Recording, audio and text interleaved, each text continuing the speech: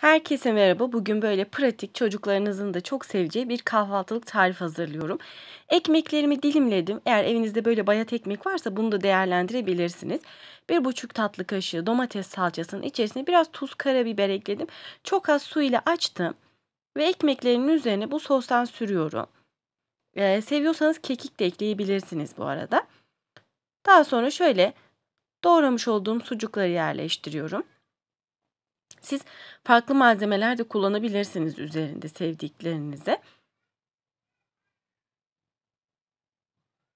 Böyle sucukları da yerleştirdikten sonra 180 derece fırında e, sucuklarım pişene kadar e, bekletiyorum. Piştikten sonra çıkarıyorum. Şöyle üzerlerine e, kaşar peyniri serpiştiriyorum e, ve sadece peynirim eriyene kadar e, fırında bekletiyorum. Ben hatta fırını kapattım. Fırının ılıklığıyla birlikte e, peynirlerim eridi. Şöyle göstereyim size bakın. Altı da gayet güzel böyle kızarıyor. Deneyecek olan herkese de şimdiden afiyet olsun.